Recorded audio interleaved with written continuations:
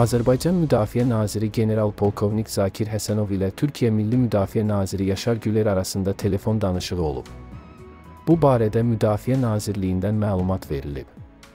Bildirilib ki, General-Polkovnik Zakir Həsənov Azərbaycanın Qarabağ bölgəsində keçirilən lokal xarakterli antiterror tədbirləri barədə həmkarını məlumatlandırıb.